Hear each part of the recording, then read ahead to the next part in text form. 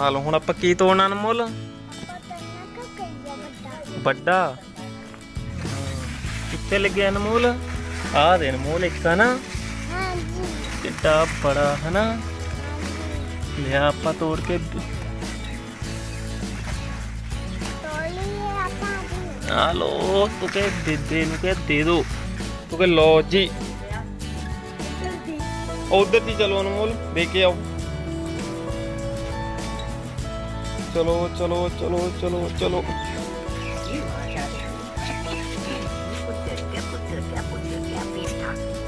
ਪੇਠਾ ਲੱਗਿਆ ਅਨਮੋਲ, ਹੋਰ ਕਿੰਨੇ ਲੱਗੇ ਹੋਏ ਨੇ ਵੀਰੇ? ਕਿੱਥੇ ਆ? ਦੇਖਦੇ ਆਂ ਦੇਖਦੇ ਉਹ ਕਿੰਨੇ ਲੱਗੇ ਨੇ ਨਾ? ਅਨਮੋਲ, ਹੋਰ ਕਿੱਥੇ ਲੱਗਿਆ ਅਨਮੋਲ? ਦਿਖਾਓ। ਚਲੋ ਚਲੋ ਚਲੋ ਚਲੋ ਚਲੋ। ਅਨਮੋਲ ਦੇ ਖੇਤਾਂ 'ਚ ਚਲੋ ਬਈ।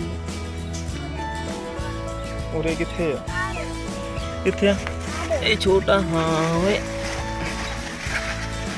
ਹੋਰ ਅਨਮੋਲ ਕਿੱਥੇ ਨੇ?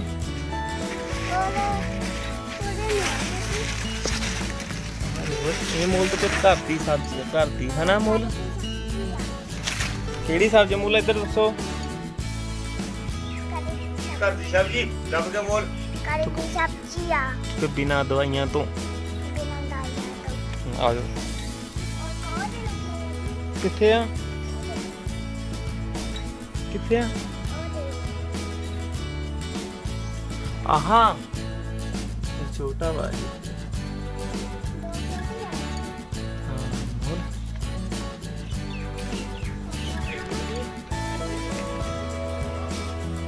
ਇੱਕ ਹੋਰ मटर? हाँ मटर भी हो गए मोल मटर भी हो गए। ला देखो कितने कितने लगी है। मोल है ना? आ देखो। और की लगे मोल मिर्चा कितने लगने मिर्चा दिखाओ।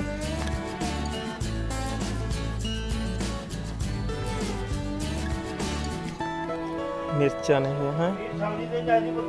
भिंडिया कितने लगी हैं?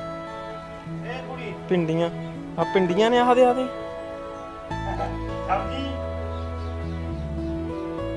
ਭੇਜ ਦੀਏ ਮਿੱਠਾ ਭੇਜ ਦੇ। ਇਹ ਹੋ। ਗਿਆ ਯਾ ਉਹਨਾਂ ਭੇਜ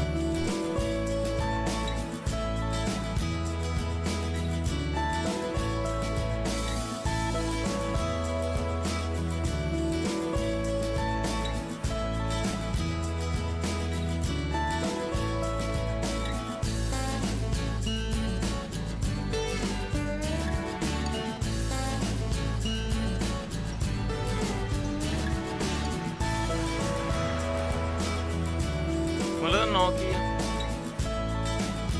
ਇਹਦਾ ਨਾਂ ਦੱਸੋ ਕੀ ਆ ਉਹ ਚੂਹੀ ਆ ਗਈ ਮੋਲ ਉਹ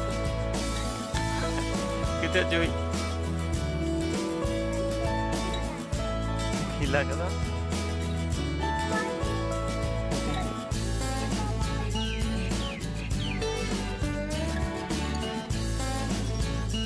ਉਹ ਦੇ ਉਹ ਦੇ ਬਾਏ ਬਾਏ